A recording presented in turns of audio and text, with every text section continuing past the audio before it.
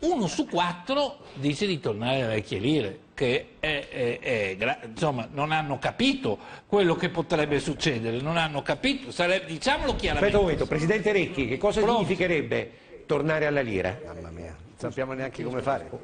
Guardi, ne, nessuno lo sa, fa solo una gran paura perché quello che è certo è che ci sarebbe una eh, svalutazione fortissima, una perdita poi dei valori patrimoniali. Già abbiamo subito un grosso, abbiamo passato attraverso una grossa fatica quando siamo passati all'euro, perché il cambio con cui siamo entrati fu un cambio che penalizzò eh, i valori ad esempio degli immobili che, che erano detenuti dai risparmiatori italiani.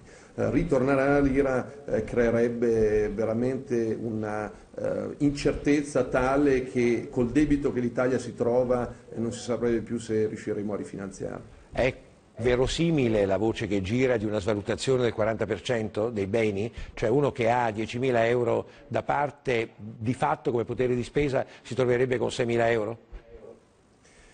È quello che si sente dire, però nessuno è riuscito a fare un conto esatto di cos'è il costo del break-up dell'euro, per cui eh, è talmente spaventosa l'ipotesi che è l'ultima delle cose che ci dobbiamo augurare, per cui eh, continuiamo a far lavorare eh, Monti e i primi ministri dei paesi europei perché l'euro tenga e l'Europa stia insieme. Quando dieci anni fa siamo entrati nell'euro, eh, un marco, prima di entrare nell'euro, un marco valeva eh, meno di 1000 lire, è stato calcolato che adesso varrebbe un marco 1400 lire, questo tra l'altro per, per le nostre esportazioni sarebbe in una situazione di disastro generale insomma, diventeremo molto molto molto competitivi, quindi bisogna stare attenti tutti quanti a come, come giochiamo. Andiamo avanti ancora? Ecco, vediamo un terzo cartello. Eh, la gente, vedete, il 70% capisce che un ritorno alla lira sarebbe un disastro per l'economia, anche se il 17% ritiene che un ritorno alla lira sarebbe positivo. Ancora una volta, questi non hanno capito niente, sarebbe un disastro, varrebbe meno la casa, tutto, diciamolo con chiarezza, però c'è un italiano su cinque, un italiano su quattro che vuole il ritorno uh, alla lira perché dice liberiamoci di questi tedeschi con tutto rispetto e uh, così ce la facciamo da soli. Abbiamo un ultimo cartello. Ma come si fa uno a liberarsi di Ella Weber? Ma, ma come ma si non fa? si può, ma, ma no, almeno per lei. Il problema è che non mi prendono più. Non ti prendono più. Però guardate questo ultimo cartello, la domanda era l'euro ha penalizzato l'economia italiana, ora il 67%, quasi 7 italiani su 10, dice di sì, cioè noi viviamo l'euro come una penale, eh, come una tassa imposta per essere più rigorosi, per perderci, eccetera, eccetera. Il che non è vero. Occorrerebbe una bella campagna di comunicazione su questo e per dire che un ritorno, che l'euro ci ha fatto comodo anche a noi. Io ho anche lanciato un referendum euro perché credo che su una materia di questo genere che tocca le tasche di tutti gli italiani dovrebbero essere gli italiani anche a decidere il futuro della moneta e se ne discute. Questa Europa dico no, l'euro come oggi dico no. Il grosso dell'elettorato moderato è un elettorato che ha dei risparmi, ha degli interessi economici, anche dei risparmi consistenti. Se te gli dici torniamo alla lira e nei primi due o tre anni ti si svaluta quello che hai del 30%, Mentre un operaio che prende 1000 euro, se gli svaluti del 30%, sempre sono 700 euro, ma resta sempre...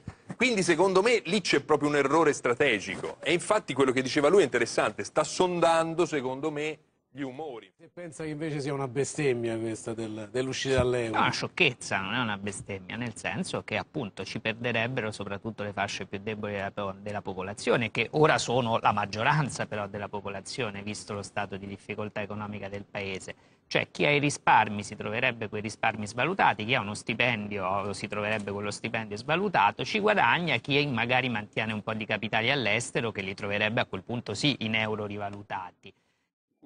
Entrata in funzione l'euro, noi non abbiamo più potuto usare le cosiddette svalutazioni eh, che, eh, competitive che ci avevano portato a sostenere le nostre esportazioni e guardando la bilancia dei pagamenti dal momento dell'entrata in vigore dell'euro, la bilancia dei pagamenti discende in maniera regolare. La bilancia dei pagamenti della Germania sale in maniera impetuosa. Quindi una moneta propria consente eh, anche attraverso il sistema eventuale delle eh, svalutazioni competitive, di aumentare le esportazioni, perché le monete forti hanno vantaggio nell'acquisire beni eh, che sono eh, stimati come prezzo nella nostra moneta e che anche i consumatori italiani preferiscono comprare meno prodotti stranieri e più prodotti italiani perché i prodotti stranieri diventano più costosi. Questa non è una bestemmia, ci sarà scandalo di fronte alla ipotesi eh, di eh, una, una, cosa di questo genere. Che cosa può succedere se eh, si ritorna a una propria moneta da parte della Spagna, da parte eh, dell'Italia, magari da parte della Grecia.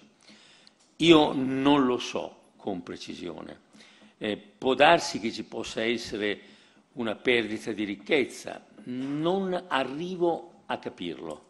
Gli immobili sono lì, l'82% delle famiglie italiane ha la propria casa, non credo che questa casa possa subire una perdita di valore nel mercato interno e sta sondando il terreno sull'uscita dall'euro o possibile ritorno alla lira. Ma i formattatori che ne pensano di questo? Guardi, eh, sull'uscita dall'euro non, non, ci troviamo molto d'accordo, nel senso che bisogna essere seri e io credo che alla fine anche una coerenza, una serietà nei confronti degli elettori paga. Molti del nostro schieramento, della nostra parte, oggi dicono che tutti i problemi che abbiamo sono perché sosteniamo il governo Monti. Qualcuno dei problemi probabilmente è anche quello, qualcuno, però a volte anche i segnali totalmente incoerenti che diamo, no? Cioè eh, votiamo le fiducie, diamo l'ok a, ad alcune decisioni impopolari e poi le rinneghiamo usciti dall'aula. Non è che aspetta la, la, trasmissione di porta a porta per conoscere qual è l'atteggiamento degli italiani nei confronti della lira e dell'euro, ecco, e quindi fa una battuta di questo genere, che è una battuta pericolosissima evidentemente, ma che crea una grande identificazione, perché come al solito interpreta, è un grande interprete del pensiero eh, che, o, o, della pancia, non lo so, degli italiani. Ecco. E, e, io penso invece che la politica abbia un altro compito, che è appunto quello di, di, di riuscire a superare, a far superare gli atteggiamenti negativi che ci sono nei confronti invece delle cose giuste e buone che bisogna fare. Ora, il ritorno alla lira, appunto, giustamente, nessuno sarebbe in grado di calcolare i disastri che provocherebbe, non soltanto nel nostro Paese, ma io credo anche nell'intera Europa, e quindi vorrebbe dire l'uscita dall'euro dell'Italia significherebbe la fine dell'euro, significherebbe la fine dell'Europa, sì. cioè vorrebbe dire che questa crisi eh, andrebbe a colpire eh, paradossalmente ciò che più nessuno aveva nel mondo per poter far fronte a una crisi come questa, perché eh, eh noi abbiamo lo strumento più grande di tutti, che è quello di avere un, un, una zona così grande, un mercato così grande, di paesi che si sono messi insieme non perché qualcuno li ha costretti, ma perché si sono voluti mettere insieme, che hanno creato un'unica moneta, un'unica economia, che da anni sperimentano che cosa significa stare insieme, che poi fanno degli errori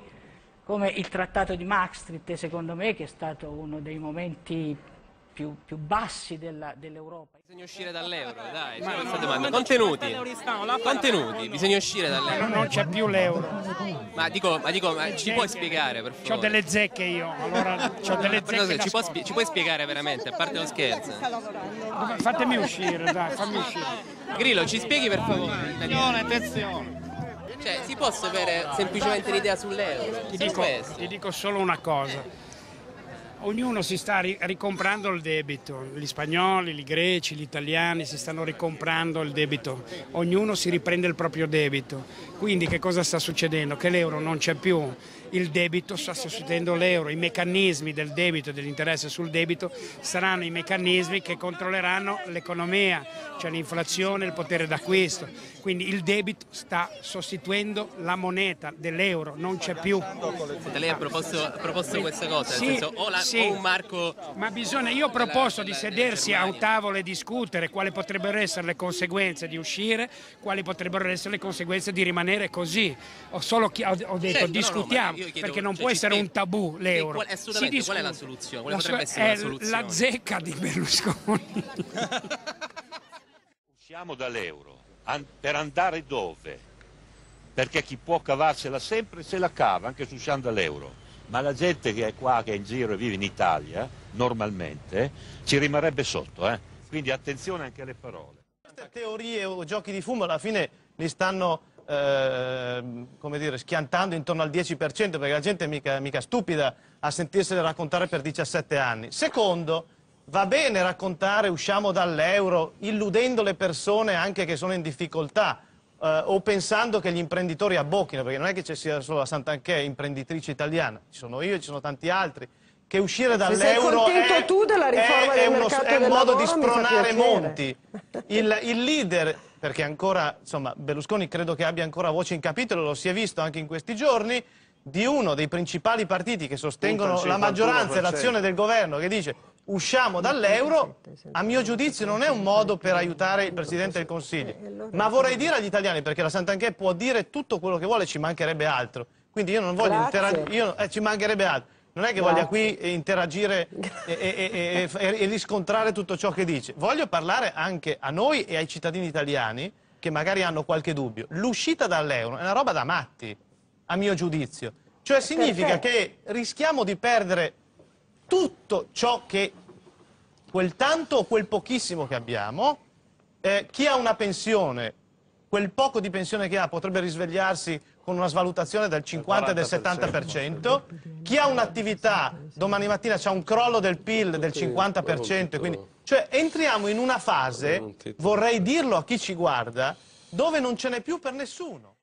Il tuo mutuo, che prima era in euro, passando alla vecchia valuta, si svaluta immediatamente la vecchia valuta, un meccanismo economico. Quindi? Il tuo mutuo cresce. Cioè, Quindi tuo- cresce nel Eh, prezzo certo, perché il tuo era un euro, quindi se mettiamo questo, la dracma entra sul mercato, vale il 40% in meno dell'euro, il tuo mutuo che era in euro vale il 40% di più, per cui tu devi pagare il 40% in più sul costo della tua casa. Non solo, esce la, la nuova valuta. La nuova valuta che cosa? Si svaluta, abbiamo detto, la banca centrale è costretta a alzare i tassi di interesse, immediatamente, quello succede negli anni 90. I tuoi tassi volano, il mutuo che ora lo paghiamo al 3,5%, lo pagheremo al 15%, il tasso di interesse. Questo è lo scenario.